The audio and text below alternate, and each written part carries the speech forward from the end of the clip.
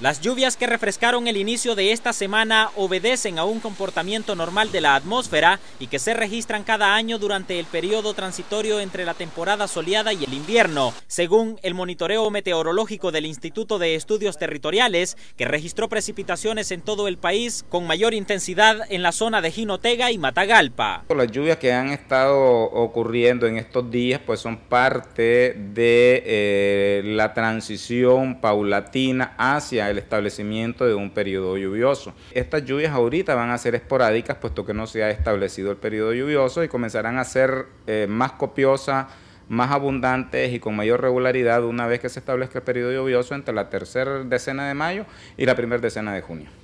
Pese a este inicio normal del invierno, el INETER descarta la generación de fenómenos ciclónicos, los que se hacen comunes entre junio y noviembre y que ocurren debido a la ubicación de Nicaragua frente al Mar Caribe. Los pronósticos revelan la aproximación de por lo menos 12 tormentas nombradas. Son 12 tormentas nombradas, de estos 6 serán huracanes y de estos 6, 2 podrán alcanzar eh, categorías intensas, entre la escala 3, 4 o 5 pero eh, no podemos ni descartar en este momento ni afirmar con mucha, ni ser categórico que vamos a ser pues eh, afectados por, una, por un fenómeno de esta, de esta naturaleza.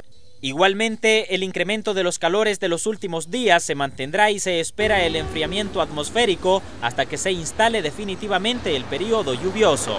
En esta época del año los rayos inciden más perpendicularmente sobre las zonas tropicales, que es donde está geográficamente ubicada en el globo terráqueo Nicaragua.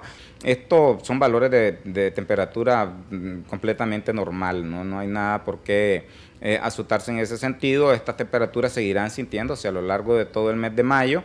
Hasta hace un mes previo a la temporada de Semana Santa las temperaturas superaron los 38 grados, sobre todo en la región occidental del país.